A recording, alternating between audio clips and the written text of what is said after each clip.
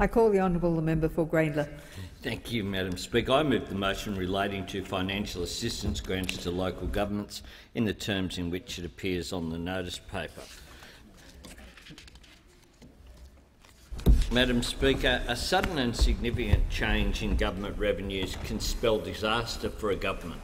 That's something the previous Labor government learned firsthand after 2009, when the worst global financial upheaval since the Great Depression slashed government revenues across the board. Such a funding difficulty is about to befall the local councils of this nation, courtesy of the Prime Minister's decision to freeze financial assistance grants for the next three years and make that change permanent. Many will be forced to slash spending on road maintenance and other services with implications for road safety, particularly in rural and regional areas. This financial assistance grants decision represents a $925 million hammer blow to financial positions of councils across the nation. While all councils are affected, those that will bear the greatest burden are small councils in rural and regional areas, which on some reports rely on financial assistance grants for up to half of their annual income. I move the motion before us today because I want those opposite to reconsider this foolish decision. I want those opposite to talk to the mayors and shire presidents in their electorates and hear firsthand about the impact of this cut. And I want to hear from those opposite, particularly from the Nationals, whose constituents will be most affected, about how on earth they could possibly support this budget move. Before I go further, let me give you a real-life example that cuts to the heart of this issue. On June 16, the Mayor of Greater Geraldton, Ian Carpenter, told the ABC's AM program that he was worried about the effect of this decision on 15 small local government areas outside Geraldton. Mayor Carpenter said, and I quote, they'll become unsustainable. It's a very, very serious problem and I can't stress that enough. To take away the indexation is just crazy. Just crazy, Mayor Carpenter said, and he was right. He couldn't be any clearer. And his comments are being echoed around the nation by mayors of all political colours. Councils now have three options, none of them attractive. Increase rates, slash services or increase borrowing. Increased rates will place further pressure on family budgets. A reduction in services is likely to occur in road services and maintenance in particular, with real consequences, particularly in the bush.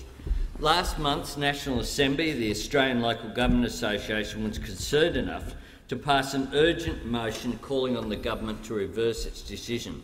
These cuts are also coming at a time when the government is already hitting local government with other budget measures.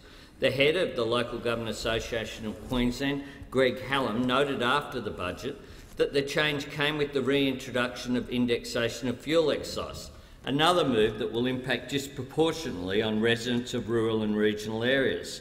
Mr Hallam is right, but he left out another budget measure that will hurt councils.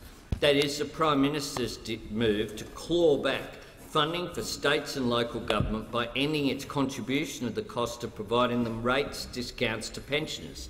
So, in fact, is a triple whammy.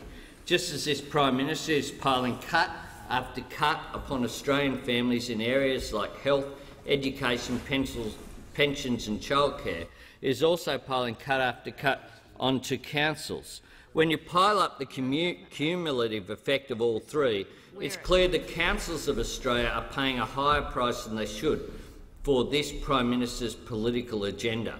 In Queensland, the Bundaberg Shire Council in the electorate of Hinkler has revealed that the decision on FAGs will turn what is expected to be a modest surplus this year into a $5 million deficit because of the decision to stop paying the money in advance.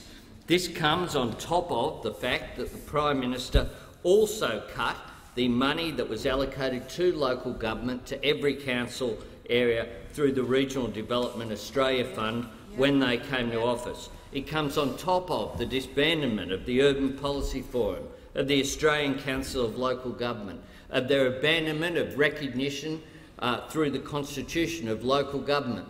They had the support of the then Shadow Minister Barnaby Joyce, but which the Liberal and National Party walked away from that bipartisanship prior to the last election.